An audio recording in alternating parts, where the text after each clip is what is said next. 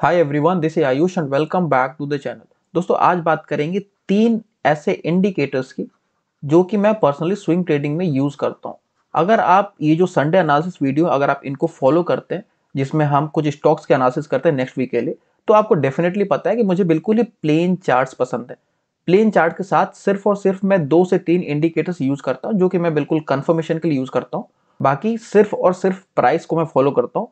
तो कौन से वो दो तीन इंडिकेटर्स है जो कि आपको यूजफुल होंगे स्विंग ट्रेडिंग के लिए, वो जानेंगे आज के वीडियो में। वीडियो को लास्ट से देखना, कौन से इंडिकेटर्स और कैसे उनको मैं यूज़ करता हूँ, कैसे आपको यूज़ करना चाहिए, वो डिटेल में देखेंगे। सो फ़र्स्ट इंडिकेटर जो कि मैं सबसे ज़्यादा यूज़ करता हूँ डैट इज़ 200 का एक्सपोनेंशियल मूविंग एवरेज अगर आप मुझे फॉलो करते हैं कुछ दिनों से, आपको डेफिनेटली पता है, जब भी मैं स्विंग ट्रेडिंग के लिए चार्ट की एनालिसिस करता हूँ, मेरे चार्ट पे ये 200 का मूविंग एवरेज हमेशा आपको दिखेगा। ना 200 का मूविंग एवरेज मैं कैसे यूज़ करता हूँ वो मैं आपको बताता हूँ। देखो 200 का मूविंग एवरेज ऐसे कोई इंपॉर्टेंट मतलब डिफरेंट नहीं है लेकिन हाँ जो भी मूविंग एवरेज होते हैं जो इंपॉर्टेंट होते हैं जैसे कि 20, 50, 100 और 200 ये चार इंपॉर्टेंट मूविंग एवरेज होते हैं जिसको स्टॉक्स जनरली फॉलो करते हैं। ठीक है तो इसमें से कौन सा स्टॉक फॉलो कर रहा है कौन सा मूविंग एवरेज वो चीज़ आपको देखना पड़ेगा सबसे पहले। दूसरी चीज़ सारे मूविंग एवरेज आपको यूज़ करने की बिल्कुल ज़रूरत नहीं आप कुछ स्टॉक्स को पकड़ सकते हैं जो कि पर्टिकुलरली 200 को फॉलो करते हैं, या फिर आप कुछ स्टॉक्स को पकड़ सकते हैं जो कि ट्वेंटी मूविंग एवरेज को फॉलो करते हैं, या फिर किसी भी एक मूविंग एवरेज को फॉलो करते हैं, ठीक है? जैसे कि अगर आप यहाँ पे चार्ट पे मेरे देखेंगे, ये मेरे पास डेली टाइम फ्रेम का वीईडीएल का चार्ट ओपन है। इस पर अगर आप देखेंगे तो मेरे पास यहाँ पे चार मूविंग एवरेज मैंने लगा के रखे हुए हैं। ये है 200 का मूविंग एवरेज उसके बाद ये है 100 फिर ये 50 और ये आपका 20 मूविंग एवरेज ये स्टॉक ध्यान से अगर आप देखेंगे तो कौन से मूविंग एवरेज को सबसे ज़्यादा फॉलो करता है? This is hundred moving average देखो, वैसे आप बोलेंगे तो ट्वेंटी से भी कभी कोई बाउंस लेता है। हमें देखना होता है कि किस मूविंग एवरेज के नीचे ये अक्सर नहीं जाया करता है। तो इस स्टॉक के केस में ये जो है हंड्रेड का मूविंग एवरेज है।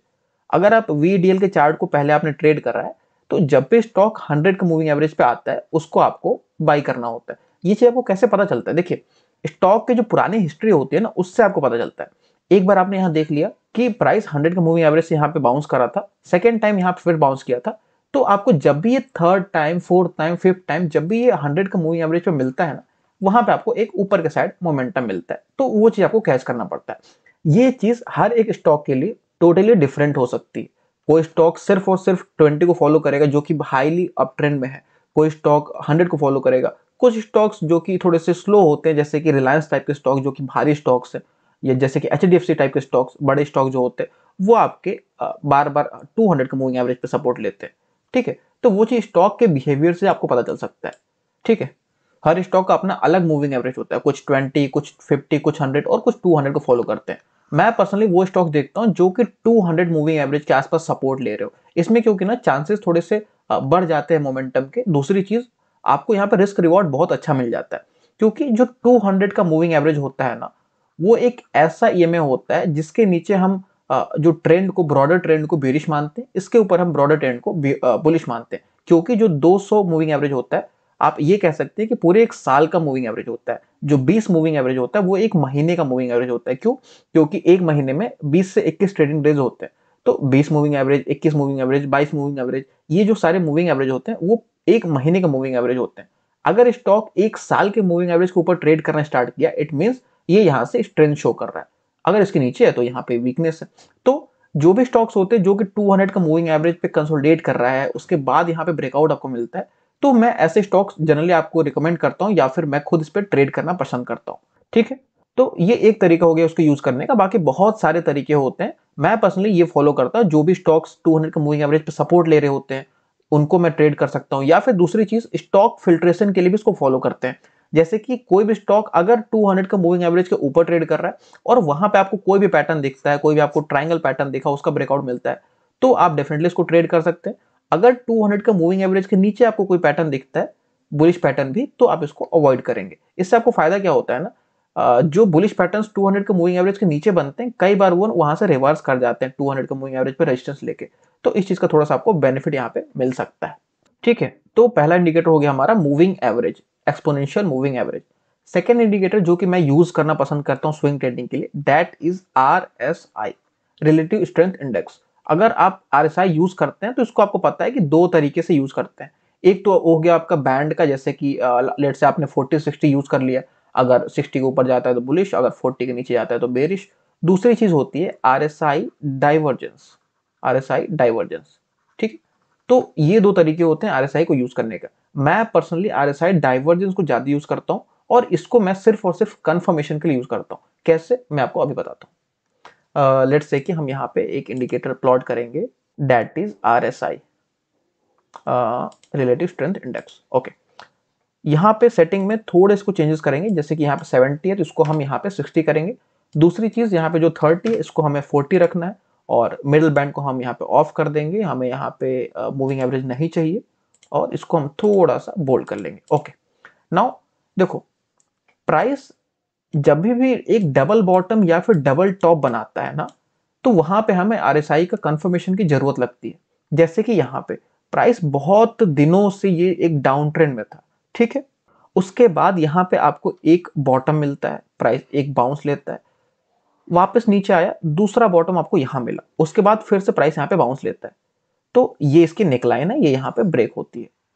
अब प्राइस अगर आप देखेंगे तो एक क्लियर डाउन ट्रेंड में ये जो 20 की मूविंग एवरेज है, इसके भी नीचे ट्रेड कर रहा है। 200 तो बहुत ही दूर है। लेकिन अगर आप यहाँ ध्यान से देखेंगे तो RSI में यहाँ पे बिल्कुल ही क्लियर कट डाइवर्जेंस दिख रहा है। प्राइस नीचे आ रहा है, लेकिन RSI ऊपर जा रहा है। इट मीन्स यहाँ पे कुछ ना कुछ वॉल्यूम एक्टिविटी हो रही है और यहाँ पे एक्यूमुलेशन बन रहा है। तो जैसे यहाँ पे नेकलाइन का ब्रेकआउट होता है, कुछ क्वांटिटी आप यहाँ डाल सकते हैं।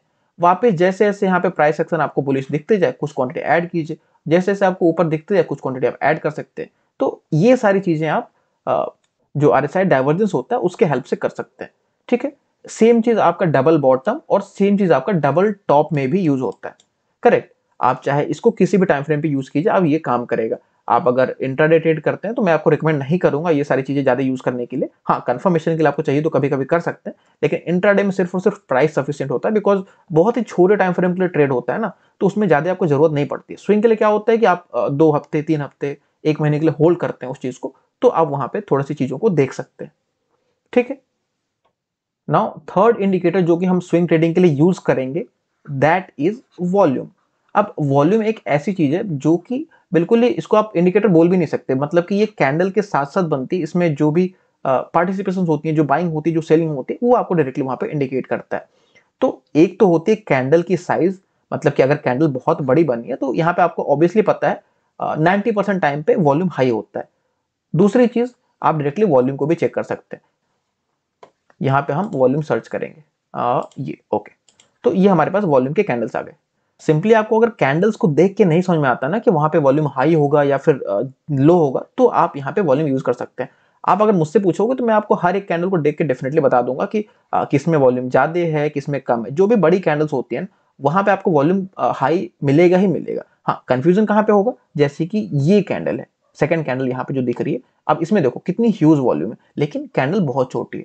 तो कई बार जब धीरे धीरे अनलोडिंग होती है ना, जो स्टॉक्स की जो भी प्राइस है उसमें तो कैंडल वहाँ पे छोटी बनती है तो उससे आपको कंफ्यूजन होगा बट यहाँ पे वॉल्यूम बिल्कुल ही क्लियर दिख जाता है। इससे कैंडल पे आपको ह्यूज वॉल्यूम मिली थी उसके बाद से डायरेक्टली वो डाउन ट्रेंड में आ गए वापस से ठीक है?